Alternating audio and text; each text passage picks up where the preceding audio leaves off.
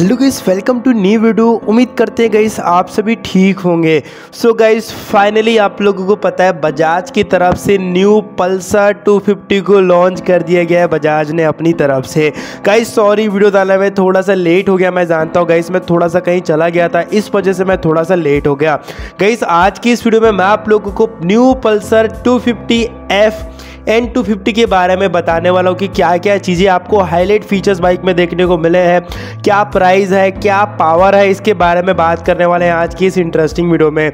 गई इस वीडियो थोड़ी सी छोटी होगी क्योंकि मैं आपको हाईलाइट फीचर्स के बारे में बताऊँगा और बाइक जैसी आप लोगों को देखने को मिलेगी सिटीज़ में, यानी कि मेरे स्टेट में जब आ जाएगी, मेरी सिटी में आएगी तो कंप्लीट आपको रिव्यू देखने को मिल जाएगा। तो चलिए दोस्तों, आज की इस वीडियो को स्टार्ट करते हैं। बात करते हैं न्यू टू के बारे में। अगर चैनल पर पहली बार आए तो प्लीज़ अपने बाइक के चैनल को सब्सक्राइब कर लेना।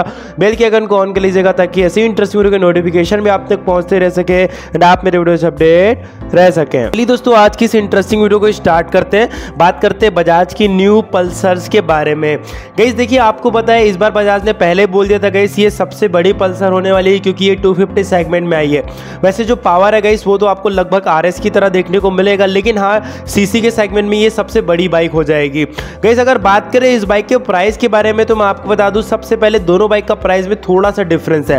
एफ़ टू फिफ्टी जो कि फेयरिंग में आएगी, उसका एक शोरूम प्राइस रखा गया one lakh forty thousand and N two fifty का प्राइस रखा गया one lakh thirty eight thousand guys तो प्राइस में टू थाउज़ेंड रुपीज़ का सिर्फ़ और सिर्फ़ डिफरेंस आपको दोनों बाइक के बीच में देखने को मिल जाता है। चलिए, अगर बात करते हैं दोनों बाइक के सबसे पहले डिज़ाइन के बारे में गाइज़ तो जो एफ़ है वो आपको फेयरिंग देखने को मिलेगी, जो कहीं ना कहीं आप लोगों को पल्सर टू ट्वेंटी एफ़ है, इनकी जो ए एस आती थी गाइज़ टू हंड्रेड उससे इंस्पायर्ड है। और वही दोस्तों, आपको एन टू फिफ्टी मिलती है, जो कि आप लोगों को थोड़ा थोड़ा एनएस से इंस्पायर्ड है, लेकिन फ्रंट लुक बिल्कुल भी नहीं एनएस की तरह, वो आपको बिल्कुल न्यू देखने को मिल जाएगा।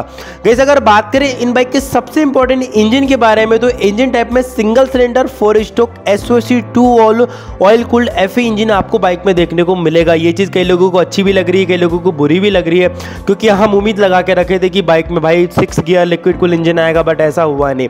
बाइक में आप लोगों को टू का सीसी देखने को इंजन देखने को मिला है। मैक्सिमम पावर में 24.5 का पी एस पावर है, जो कि 8750 आरपीएम में पावर जनरेट करता है।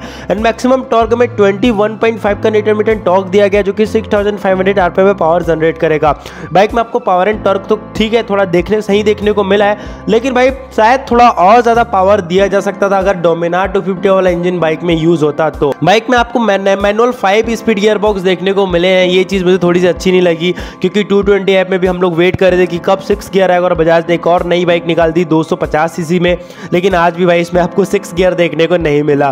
बाइक की जो सीट हाइट है गई वो सेवन नाइनटी mm की बाइक की जो ग्राउंड क्लियरेंस है गई वो वन सिक्सटी mm की एंड बाइक का जो कर वेट है गई वो एन टू फिफ्टी का one sixty two K G का एंड एफ़ टू फिफ्टी का one sixty four K G fuel tank capacity दोनों ही बाइक की फोर्टीन लीटर की है। अगर बात करें प्लेट्स के बारे में तो यहाँ पे दोस्तों आपको फ्रंट में थ्री हंड्रेड mm की प्लेट दी गई है।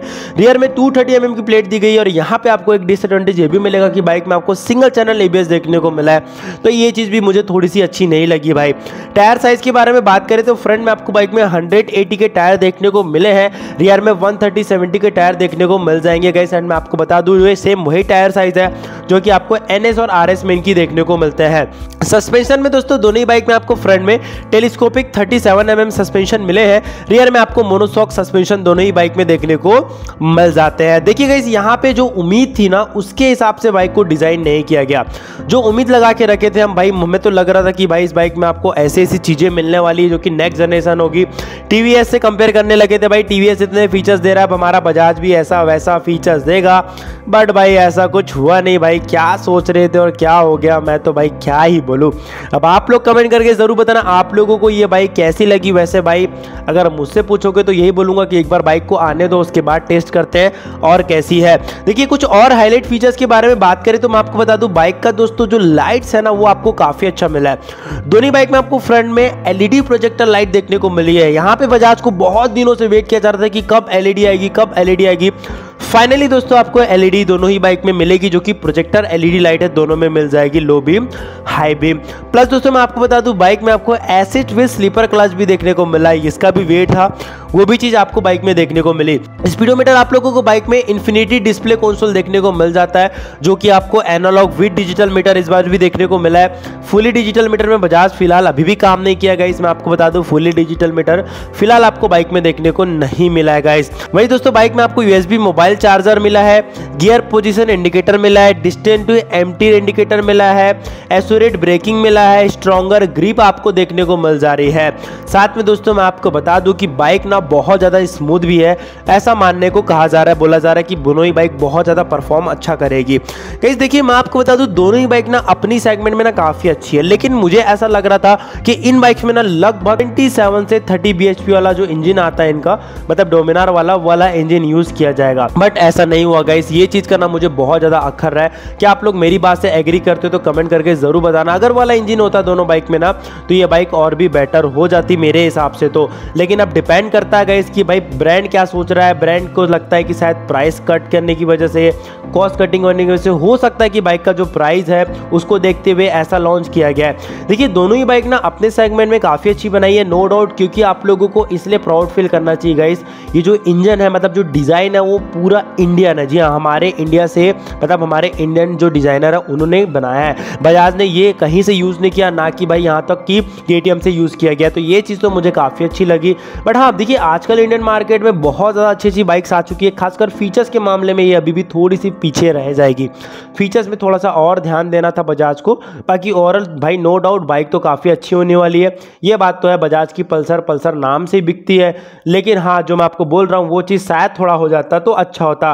दोनों ही बाइक में आपको न्यू इंजन देखने को मिला। मैं आपको बता दूँ बजाज ने ये नया इंजन क्रिएट किया है इसके लिए।